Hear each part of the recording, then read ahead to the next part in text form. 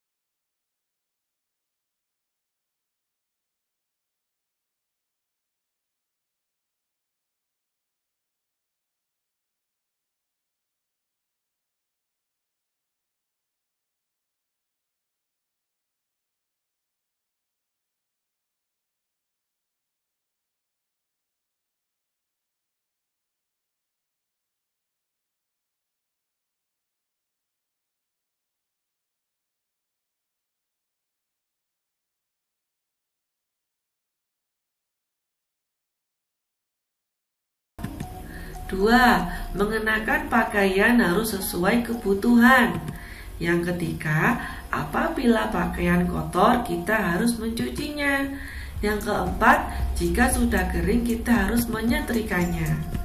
Cara merawat pakaian yaitu dengan cara mencucinya jika kotor. Kemudian, setelah mencuci, kita menjemurnya agar kering. Selanjutnya, setelah kering kita setrika biar pakaiannya tidak kusut dan pakaian terlihat licin. Yang keempat, setelah disetrika kita menatanya di lemari agar terlihat rapi. Oke, itu tadi cara merawat pakaian. Dari penjelasan yang sudah Miss terangkan tadi, kewajiban dan hak yang berkaitan dengan pakaian yaitu kewajiban tentang pakaian menyimpan pakaian dengan rapi mencuci pakaian yang kotor merawat pakaian dengan baik. Itu tadi kewajiban tentang pakaian. Selanjutnya hak tentang pakaian. Yang pertama hak mendapatkan pakaian dan hak mengenakan pakaian yang bersih Nah, itu tadi materi mengenai hak dan kewajiban yang berkaitan dengan pakaian. Kita masuk materi yang selanjutnya, hak dan kewajiban terhadap makanan. Makanan adalah kebutuhan pokok tiap manusia. Dengan makan, kita mendapatkan energi atau tenaga untuk melakukan aktivitas sehari-hari. Jika kita tidak makan setiap hari, maka kondisi tubuh kita akan lemah dan mudah sakit. Tubuh yang lemah dan sakit akan membuat aktivitas kita terganggu.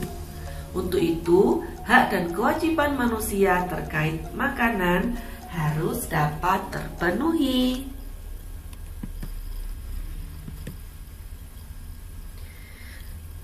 Berikut kewajiban dan hak tentang makanan. Kewajiban tentang makanan. Yang pertama, kita wajib bersyukur atas semua makanan yang ada. Yang kedua, kita wajib memilih makanan yang sehat. Yang ketiga, kita wajib makan makanan yang sudah disediakan dan tidak boleh mencela makanan. Yang keempat, kita wajib menghabiskan makanan yang sudah diambil. Yang kelima, kita wajib membaca doa dan ucapan syukur sebelum dan sesudah makan. Yang keenam, kita wajib tidak berebut makanan dengan orang lain. Nah, itu tadi kewajiban tentang makanan. Selanjutnya, hak tentang makan. Yang pertama, hak mendapatkan makanan sehat dan bergizi. Yang kedua, hak mendapatkan sarapan pagi, makan siang, dan makan malam setiap harinya. Yang ketiga, hak mendapatkan air minum yang sehat. Yang keempat, hak memilih makanan yang sehat dan bergizi. Nah, itu tadi hak dan kewajiban tentang makanan. Selanjutnya kita akan memasuki materi yang ketiga, hak dan kewajiban terhadap tempat tinggal. Rumah merupakan tempat berlindung dan beristirahat.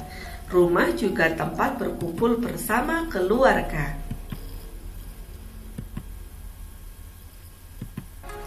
Di dalam rumah, segala aktivitas dalam keluarga dapat berlangsung. Memiliki rumah yang sehat akan membuat penghuninya kerasan untuk tinggal di rumah.